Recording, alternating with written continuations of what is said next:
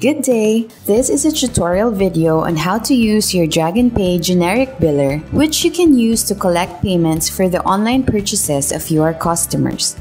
To start off, go to the generic biller URL that we assign to you, which we send through email upon approval of your account. You can see a raw sample on the screen. The URL is the link that you can send to your customers in order for them to proceed with their payment. What's great about this generic biller is that you can have it edited and pre-filled with the details that you can assign based on the items being purchased. You may then post this URL link on your online shop or website or send it directly to your customers.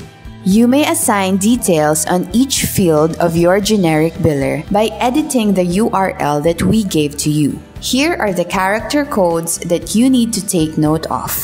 Use the and sign to add characters on a field. Use the equal sign after the field name to assign a detail. Use the plus sign to add a space between words. Use the percentage sign and the digits 40 in order to add the at sign for email addresses. Let's start and try to add details on each field. To add an invoice number, place your cursor at the end of the URL and type the end sign I-N-V-O-I-C-E-N-O followed by the equal sign, then type your assigned invoice number. In this case, I put 0001 as the invoice number. Press enter and you will see that the invoice number will now be reflected on the generic biller. Now let's try to add a name on your generic biller. Just like what we did with the invoice number, type the and sign followed by NAME and the equal sign, then type the customer's name. In this case, I put Juan de la Cruz. In order to do this, type Juan plus sign, de la plus sign, and then Cruz. The plus sign, as mentioned earlier, would put a space in between words. Press enter and you will see that the name will now be reflected on the generic biller. Now let's try to add an email address. Put the cursor at the end of the URL, the end sign, type email followed by the equal sign, and type the customer's email address. In order to put the at sign, use the code percentage 40. For Juan at gmail.com, you will need to type JUAN percentage 40 gmail.com,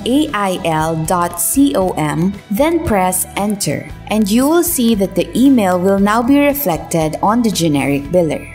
Now, we will try to add details on the amount and remarks fields. Again, just type the end sign, A-M-O-U-N-T, followed by the equal sign, then type the amount in digits. In this example, I put 500 to input 500.